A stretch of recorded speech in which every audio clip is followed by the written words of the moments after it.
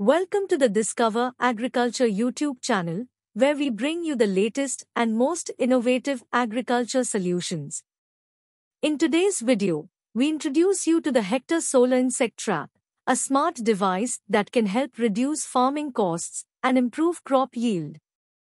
The Hectare Solar Insect Trap is a one-time investment device that can trap harmful insects, thereby reducing the need for costly insecticides. The trap consists of a solar panel that charges during the day and switches on an ultraviolet light at night to attract harmful insects, which are most active during sunrise and sunset hours. This ensures that the device saves energy while being highly effective in controlling pests. With the Hectare Solar Insect Trap, farmers can significantly reduce the cost of pest management, thereby increasing their profit margin. This innovative device helps produce healthy food by minimizing the use of chemical measures for controlling insects, resulting in food products that are free from harmful insecticide residues.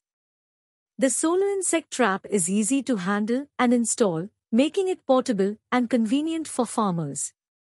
It requires minimal maintenance, and farmers only need to change the water in the trap every few days. The device runs on solar energy, so it doesn't require electricity or manpower to operate. The solar insect trap is highly efficient in catching a variety of harmful insects, including flying nymphs and adult insects like leaf folder, stem borer moths, fruit borer moths, hoppers, fruit weevil, and beetles. With a single device, farmers can cover up to an acre of land. Installing the solar insect trap is a simple process, and any farmer can assemble it themselves. The device comes with a tripod stand, a tray for pest collection, a 10-watt solar panel, and UV LED lights.